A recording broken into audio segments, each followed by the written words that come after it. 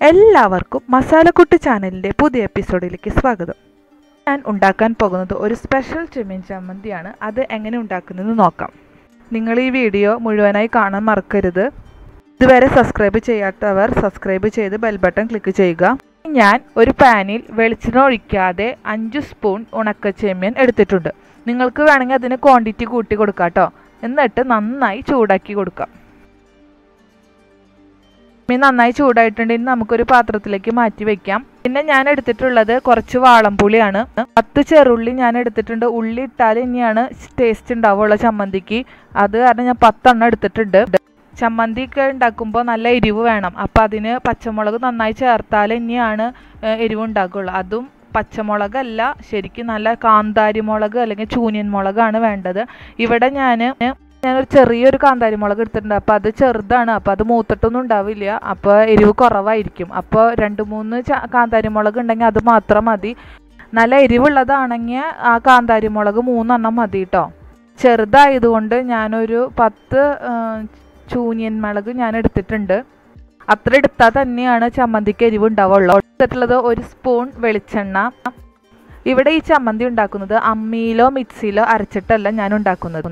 ഒരു പലകയും ഒരു ചിരട്ടയും വെച്ചിട്ടാണ്. ഇതിനെ കോലിപ്പലക എന്നാണ് പറയുക. ഇനി വേറെ സ്ഥലങ്ങളിൽ വേറെ നെയിം ഉണ്ടോയെന്ന് എനിക്ക് അറിഞ്ഞുകൂടാ തടിയുള്ള ഒരു പലക അതും ഒരു ഇലയുടെ ഷേപ്പാക്കിയിട്ട് എടുത്തിരിക്കുകയാണ് ഇപ്പോൾ ഇലയുടെ ഷേപ്പ് ഇല്ലെങ്കിൽ റൗണ്ട് ഷേപ്പായിട്ട് എടുത്തിട്ട് അതിൽ അരയ്ക്കുകയാണ് ചെയ്യണത്. ഇപ്പോൾ ഈ ചിരട്ട എന്ന് പറയണത് ഈ ചിരട്ട ഞങ്ങൾ രണ്ട് ദിവസം വെള്ളത്തിലിട്ട് വെച്ചിട്ടുണ്ട്. എന്നിട്ട് അതിലത്തെ ഞാരൊക്കെ ചുരണ്ടി കളഞ്ഞിട്ടാണ് ഈ ചിരട്ട ഞങ്ങൾ എടുത്തിട്ടുള്ളത്.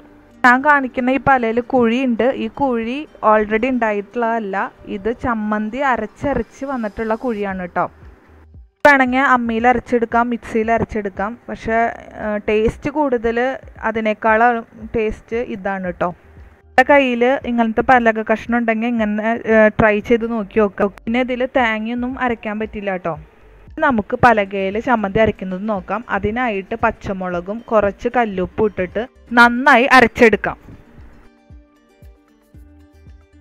നന്നായി അരഞ്ഞു വന്നിട്ടുണ്ടെങ്കിൽ അതിലേക്ക് ഉള്ളിയും കൂടിയും ചേർത്ത് നന്നായി അരച്ചു കൊടുക്കാം. ചിരട്ട എടുക്കുമ്പോൾ കുഴിയുള്ള ചിരട്ട എടുക്കാണ്ട് പരന്നതായിട്ടുള്ള ചിരട്ട എടുത്തോളൂ കേട്ടോ ഉള്ളി നന്നായി അരച്ചെടുത്തിട്ടുണ്ട്. ഇനി നമുക്ക് ചൂടാക്കി വെച്ചിട്ടുള്ള ചെമ്മീൻ അതിലേക്ക് ചേർത്ത് നന്നായി അരച്ചു കൊടുക്കാം.